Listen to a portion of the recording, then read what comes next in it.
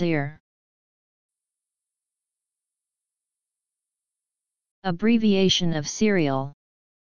In some fantasy novels, an address or courtesy title to any person, especially if their gender and slash or form of address are unknown. S E R Ser.